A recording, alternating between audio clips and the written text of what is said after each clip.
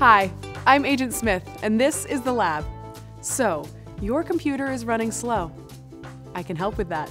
For this video, several agents and I put together a list of tech tips to speed up a PC that's running Windows 10. You might not need to do them all. What will work for you depends on what's bogging down your computer. Here's what you need. Your computer with Windows 10, model numbers for your computer or any hardware you added, trusted internet security software, and we're assuming that it's set up and working. If you have another operating system or you decide at any time that you'd rather have someone look at your computer for you, click on the link under this video to chat with an agent. They can tune up your computer remotely. First, let's make sure Windows 10 is up to date. New features can sometimes help performance. Click Start, then Settings, and in the menu, find Update and Security, then Windows Update. Click on Check for Updates even if it says you're up to date. If it finds something new, get the update. Next, it's a good idea to make sure you have the latest hardware drivers. Those are pieces of software that allow Windows 10 to talk to the physical parts inside your computer, like the video card and outside devices like printers. You can download driver updates from the manufacturers. There's a link under this video to a list we made of popular tech companies' sites. Find the brand of your computer and click through to their site. You'll be able to find updates there. You may need the model numbers for your computer or any other things you've added, like a printer. Now, let's check for viruses or malware. Open your internet security software and run a scan. It's a good idea to do this monthly, and while you're at it, double check that your software is up to date so you're protected from new viruses. I didn't find any issues, but if you do, the software will tell you what to do. Next, check your internet speed.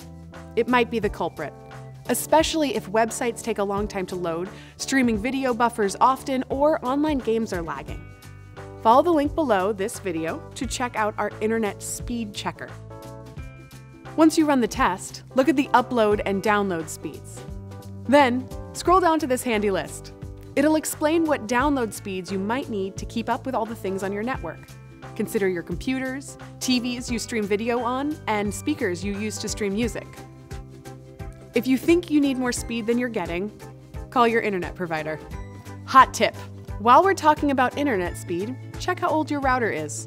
If it's three or more years old, your router might be slowing down your Wi Fi. Consider upgrading. Newer routers have the latest technology and can handle faster internet speeds better. Okay? Back to the computer. Let's get rid of programs you don't use anymore. Here's how go to the Start menu select Settings, then Apps. A list of all the apps and drivers you have installed will pop up. You can even sort them by when you installed them by clicking here. Remove programs you don't need by highlighting and then clicking Uninstall. Okay, timeout.